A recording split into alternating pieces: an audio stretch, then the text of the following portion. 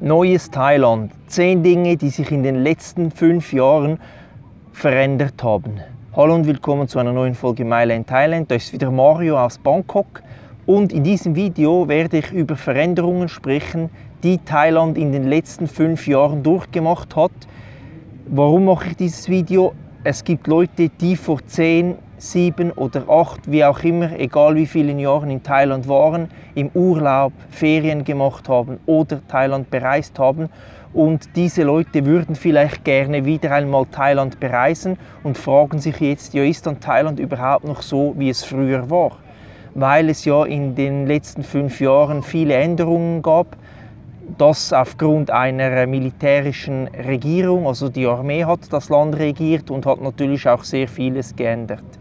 Und in diesem Video spreche ich genau über diese Änderungen, dass du zu Hause, du als zukünftiger Thailand-Urlauber dir ein Bild machen kannst, was dich in Thailand heute erwarten wird.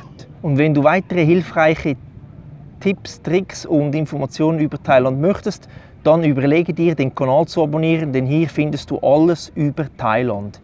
Gut, dann würde ich sagen, lassen wir doch gleich los mit dem ersten Punkt und das ist das Nachtleben. Nachtleben in Thailand. Früher war Thailand, man kann fast sagen, 24 Stunden aktiv. Also ob du nach Pattaya bist, an die Walking Street oder nach äh, Phuket, Patong oder auch Soi Nana, Soi Cowboy in Bangkok selber, du hast immer 24 Stunden Party gehabt. Und das Nachtleben, für das ist ja Thailand auch bekannt oder war bekannt. Und das hat sich geändert. Also heute ist das Nachtleben zwar nach wie vor sehr interessant, aber es ist bei weitem nicht mehr so, wie es vorher vor sechs Jahren oder fünf Jahren und länger war. Die Beizen, die Bars und das Ganze, die haben meistens nur noch bis maximal 0200 geöffnet. An vielen Orten schließen die Bars aber bereits um Mitternacht. Dann ein weiterer Punkt, der auch nicht mehr so ist wie früher, wobei sich aber in meinen Augen eher positiv verbessert hat, ist, sind die Strände von Thailand. Die, die es noch kennen, die wissen, dass man vor sechs Jahren oder ja, fünf Jahren, wenn man an einen Strand gegangen ist, vor allem in Phuket, was ganz extrem, Pattaya teilweise auch, man hatte kaum noch Platz am Strand. Überall waren Liegestühle, überall waren Strandverkäufer, es war alles komplett zugestellt mit Liegestühlen, mit Liegestühlen und Tischen. Also man hatte eigentlich dann nur noch ein paar wenige Meter Sandstrand, die man nutzen konnte für ein bisschen Spaß und Spiel. Und äh, das hat sich heutzutage auch geändert. Liegestühle gibt es nur noch ganz wenige und die sind äh, limitiert. Also die Touristen, wenn größere Anzahl Touristen an die Urlaubsorte reisen, dann kann es gut möglich sein, dass man keine Liegestühle zur Verfügung hat. Es gibt nach wie vor Liegestühle, es gibt nach wie vor Holzstühle, die man mieten kann, aber es ist nicht mehr so wie früher, dass der ganze Strand mit, Liegestühlen übersät war und man überall dort einfach problemlos hinliegen konnte. Für diejenigen, die natürlich Kinder haben oder gerne auch am Strand ein bisschen spielen, äh, Fußball, äh, Volleyball oder weiß ich, was es da alles gibt, für diejenigen ist die Situation sicher viel besser als früher. Dritte Veränderung, die auch sehr, sehr speziell ist, sind die ganzen Straßenküchen. Thailand ist bekannt für ihre guten Straßenküchen, für ihr super gutes thailändisches Essen. Und ich war vor zwei Wochen war ich in Bangkok am sogenannten Pratunam-Markt. Das ist so ein großer Markt, wo man Kleider kaufen kann. Und ich war wirklich schockiert, dass dort praktisch sämtliche Straßenküchen an der großen Hauptstraße verschwunden sind. Gibt es nicht mehr. Für diejenigen, die früher schon mal in Bangkok waren, die kennen es. Überall, alle zwei, drei Meter hat es eine Straßenküche gehabt, wo man Hühnchen kaufen konnte. Schweinefleisch, Dessert, Pancake, also wirklich Früchte, Gemüse, einfach alles. Es war überall erhältlich. Und heute haben die ganzen Straßenküchen, die wurden in die Seitenstraßen verlegt, aber es gibt natürlich nach, also gar nicht mehr so viele wie früher. Also die Zahl hat sich äh, nicht einmal halbiert, es sind sogar viel, viel weniger. Was die Leute heute machen, die früher eine Straßenküche gehabt haben, weiß ich nicht, aber man kann auf jeden Fall sehen, wenn man Bangkok oder auch äh, andere Orte in Thailand bereist. Es hat viel, viel weniger Auswahl und viel, viel weniger Straßenküchen als früher. Was ich eher ein bisschen schade finde, weil das ein bisschen das Markenzeichen war. Dann kommen wir zum vierten Punkt, eine vierte Veränderung und das ist eine aktuelle zurzeit. Das ist die thailändische Währung, der thailändische Baht. Da habe ich auch schon in den letzten Videos darüber gesprochen, darum äh, fasse ich das hier kurz, aber ist auch für äh, Thailand-Reisende interessant zu wissen, dass im Moment der Thai-Baht sehr stark ist und voraussichtlich auch nicht abgewertet wird. Auch Maßnahmen, so wie jetzt auch heute wieder die thailändische Regierung angekündigt hat, werden erst auf Ende 2019, Anfangs 2020 voraussichtlich ergriffen. Also man kann davon ausgehen, oder ich gehe jetzt mal davon aus, dass der Thai-Baht für die nächste Ferienperiode, also Anfangs 2020, Ende 2019 noch stark bleibt. Und im gleichen Zuge ist der Euro auch nicht so stark, also der wird ja immer schwächer, was dazu führen wird, dass äh, euer Urlaubsgeld zurzeit ein bisschen weniger Wert hat. Dann kommen wir zum fünften Punkt. Das ist äh, ein ähnlicher Punkt, passt fast zur Währung, aber es sind die Preise.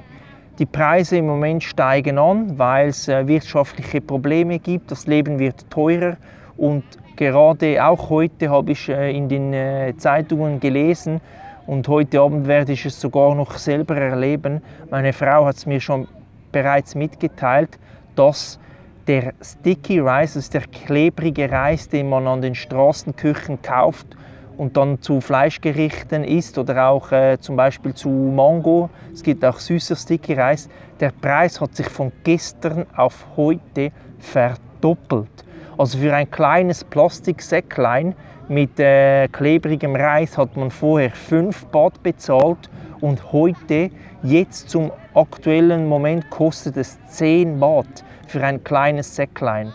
Und das hat mehrere Gründe. Einerseits die Trockenzeit. In, Im äh, Nordosten regnet es zurzeit praktisch nichts.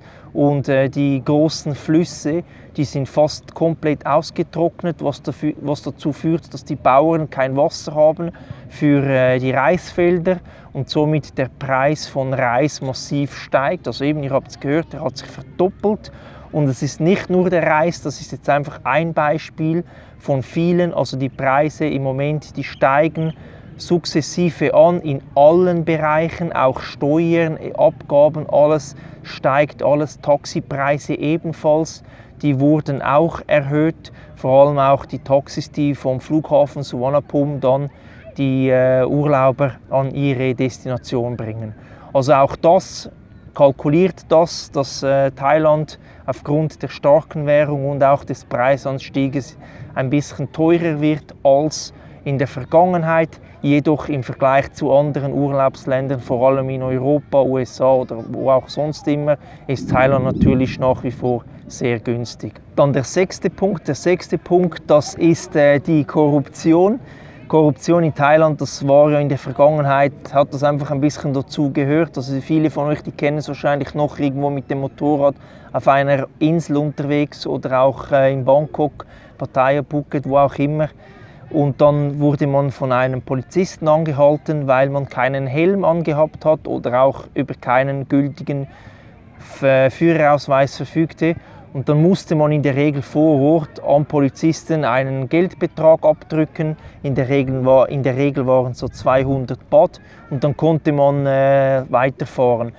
Da gab es auch ganz lustige Szenen aus meinem Freundeskreis. Einmal da eine, eine Kollegin, die, eine Thailänderin, die ich schon länger kenne, die wurde mal von der Polizei angehalten und wurde nach ihrem Führerausweis gefragt und sie hat dann gesagt, dass sie gar keinen hat. Also die, die lenkt schon seit über zehn Jahren ein Auto in Thailand ohne Führerschein. Die hat die Prüfung gar nie gemacht.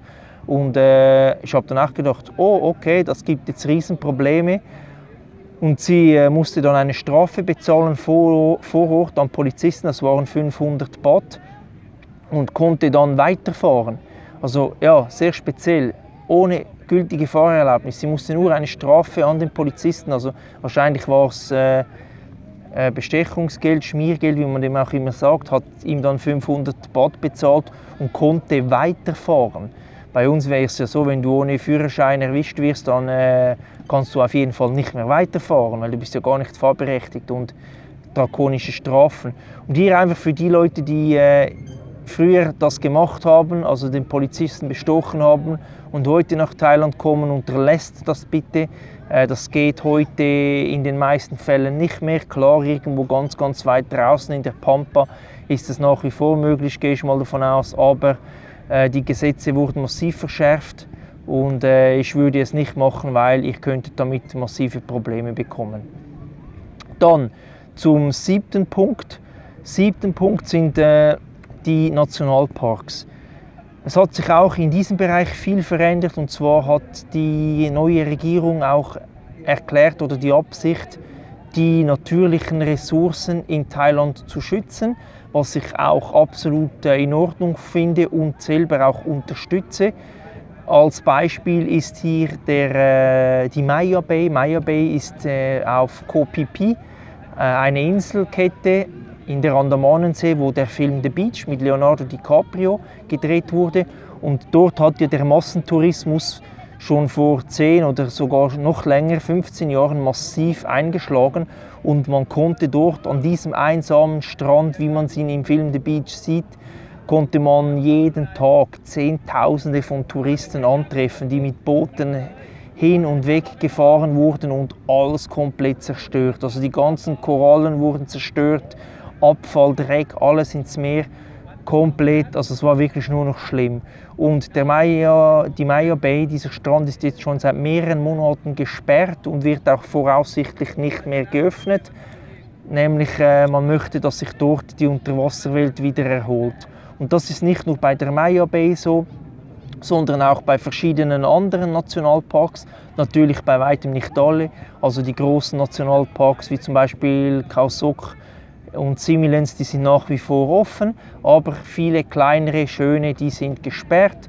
Beachtet auch das, wenn ihr nach Thailand reist, vielleicht habt ihr Pläne, ihr möchtet gerne nach Pipi. Pipi ist nach wie vor offen, aber eben Maya Bay, dieser Abschnitt, diese Insel dort ist gesperrt. Einfach, dass ihr das auch berücksichtigt. Dann ein weiterer Punkt ist die Strafverfolgung. Und das finde ich ein sehr, sehr positiver Punkt. Strafverfolgung in Thailand hat sich massiv verbessert. Und zwar, mit, was meine ich mit massiv verbessert? Ich, ihr kennt es äh, von vielen Geschichten, auch äh, in meinen Videos, die Serie Thailand, Himmel oder Hölle. Für die, die sind interessiert, dort erzähle ich ja Geschichten über Thailand, über Menschen, die alles verloren haben oder auch positive Geschichten. Und vielfach bei den Menschen, die in Thailand alles verloren haben, ist das Problem, dass man, wenn man über den Tisch gezogen wurde, betrogen wurde, dass man eigentlich nie so richtig Hilfe von der Polizei bekommen hat und die Gesetze einfach so schlecht waren oder einfach nicht durchgesetzt wurden und äh, die Kriminellen schlussendlich immer äh, ja, gewonnen haben, wenn man so will. Also sie wurden eigentlich gar nie richtig strafrechtlich verfolgt. Das habe ich das Gefühl, das hat sich jetzt in den letzten Jahren massiv verbessert. Also man sieht auch, wenn man zur Polizei geht, Anzeige erstattet, die Polizei nimmt einen eher ernst, als es äh, in der Vergangenheit war. Der, das Ganze wird aufgenommen, es wird auch untersucht, man muss kein Bestechungsgeld mehr bezahlen, dass, man, dass die Polizei sich dem Fall annimmt. Und man hört auch immer wieder, immer mehr von positiven Ereignissen, also von äh, Fällen, die aufgeklärt wurden. Es werden Touristen im Fernsehen gezeigt, die Anzeige erstattet haben wegen Betrügereien und der Täter nachher auch äh, verhaftet, also festgenommen wurde und zur Rechenschaft ge, äh, ja, zur, zur, vor Gericht gebracht wurde. Und das muss ich sagen, das hat sich aus meiner Sicht wirklich massiv verbessert und das ist ein positiver Punkt, also auch für diejenigen, die vielleicht noch die Einstellung oder den Glauben haben, ja in Thailand, wenn man äh, bestohlen wird oder betrogen wird, das bringt so oder so nichts, zur Polizei zu gehen. Vergiss das, geht zur Polizei, macht Anzeige. Es gibt ja jetzt auch die so spezielle Departments, Special Investigation Division in Bangkok, die sich auch äh, solchen Fällen annimmt. Dann noch die neunte Veränderung in Thailand und das ist auch eine, für die ich auch sehr, sehr gut finde, vor allem für diejenigen, die äh, Tiere gerne mögen. Ich sehr, ich mag Tiere gerne und man sieht ja auch vielfach in den Foren im Internet über Leute, die fragen, ja, wie schaut es aus, ich möchte gerne so ein Elephant äh, Sanctuary besuchen gehen und äh, dort äh, schauen, also mit den Elefanten ein bisschen spielen oder im Norden kann man in den Flüssen mit Elefanten baden gehen oder auch früher äh, die, der Tigertempel, das äh, war ja den meisten von euch wahrscheinlich auch ein Begriff. Und bei den Tigertempeln hat man ja oder sagt man zumindest, dass die, Tiger, die Tiere dort betäubt werden, damit die Touristen mit ihnen Fotos machen können. Also die werden auf übelste Art und Weise angeblich mit Medikamenten vollgepumpt, damit sie ruhig sind und dann legen sich die Touristen neben die Tiger und äh, können sich so ablichten lassen. Und da hat sich auch viel getan in den letzten fünf Jahren. Man liest immer wieder in den Zeitungen oder sieht im thailändischen Fernsehen, dass äh, Leute, vor allem Touristen, aber auch Thais, wenn sie sowas feststellen, dass Tiere misshandelt werden oder nicht gut behandelt werden, dass man dann die Polizei alarmieren kann. Die Polizei kommt in den meisten Fällen auch und wird sich dem annehmen. Und auch die in diesen Bereichen gibt es äh, drakonische Strafen, auch also für Thais und für Ausländer. Es wurde erst vor kurzem ein äh, Ausländer festgenommen, der seinen Hund misshandelt hat und jemand hat ein Video gemacht und das dann auf äh, der thailändischen Polizei und in Facebook veröffentlicht.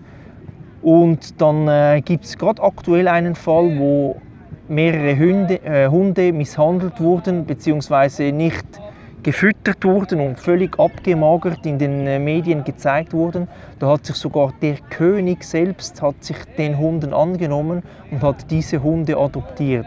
Also ihr seht wirklich im Moment, es schaut wirklich so aus, dass Thailand ein Herz für Tiere entwickelt. Klar, es gibt überall noch äh, Missstände, die gibt es auch in Europa, aber grundsätzlich äh, für diejenigen, die irgendwas feststellen, es ist heute so, man muss nicht mehr wegschauen und einfach äh, die Faust im Sack machen. Nein, man hat heute hier die Möglichkeit, das Ganze zu melden der Polizei und dann äh, in der Hoffnung natürlich, dass dann auch was gemacht wird. Dann kommen wir noch zum zehnten Punkt und das ist ein Punkt, der im Moment vielen Leuten ein bisschen Kopfschmerzen äh, bereitet und das aber die Touristen bzw. du wissen solltest, wenn du nach Thailand reisen möchtest, sind die sogenannten Aufenthaltsmeldungen. Du bist jetzt verpflichtet, im Moment ist es so, dass du, wenn du in Thailand bist, deinen Aufenthalt der Immigration melden musst und das geht im Moment folgendermaßen so, dass wenn du nach Thailand reist und du gehst in ein Hotel, dann macht das in der Regel das Hotel. Also das betrifft dich dann nicht groß. Wenn du aber irgendwo bei jemandem übernachten möchtest, einen Freund oder in einer äh, Wohnung bei jemandem, der nicht offiziell, äh, das nicht als offiziell als Hotel gilt, dann ist dieser verpflichtet, eine sogenannte TM30, eine Aufenthaltsmeldung abzusetzen und du musst schauen, dass er das macht. Dazu habe ich äh, auch schon Videos gemacht. Schau doch einfach mal bei meinen älteren Videos rein, damit du Bescheid weißt, wie das mit TM30 funktioniert. Oder sonst wie immer zu all den 10 Punkten schreib deine Frage bei mir äh, in die Kommentare beim Video. Ich werde sie selbstverständlich beantworten. Gut, es fängt an zu regnen. Gerade Glück gehabt, fertig mit dem Video. Lass mir einen Daumen hoch da, wenn äh, die Informationen für dich hilfreich waren dann willkommen auch äh, auf dem Kanal. Du kannst ihn sehr gerne abonnieren, kostet nichts, wenn dich Thailand interessiert. Und dann wünsche ich dir noch eine gute Zeit, natürlich schönen Urlaub, wenn es nach Thailand geht und äh, vielleicht bis äh, zum nächsten Video. Tschüss!